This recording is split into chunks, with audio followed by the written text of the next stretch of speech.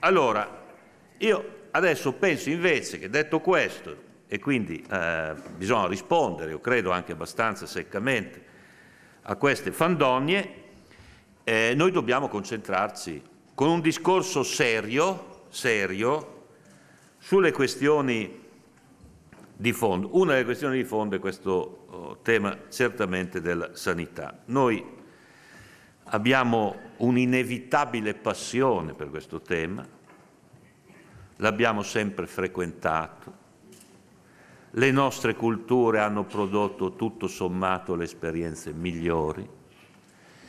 Anche in queste elezioni noi candidiamo una sorta di dream team del no? campo sanitario, perché siamo inevitabilmente legati a questo grande tema?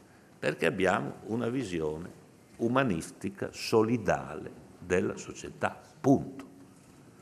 Per cui noi abbiamo una condanna, non è neanche da discutere, io ho sempre detto, cioè il fatto di concepire che su temi come la scuola, la salute, l'istruzione, la salute, la sicurezza, non possa esserci né povero né ricco e che per noi siano sistemi universalistici, non è un'opzione, non è un'opzione politica, è un dato intrinseco e costitutivo di un partito progressista riformista. Punto.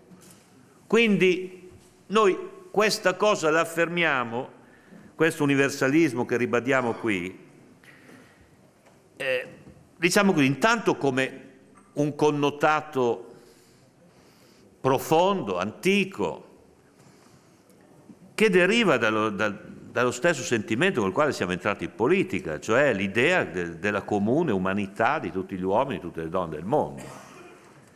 E quindi una valutazione, un'idea, se volete un ideale, che non può prescindere dall'uguaglianza davanti a temi basici della condizione umana.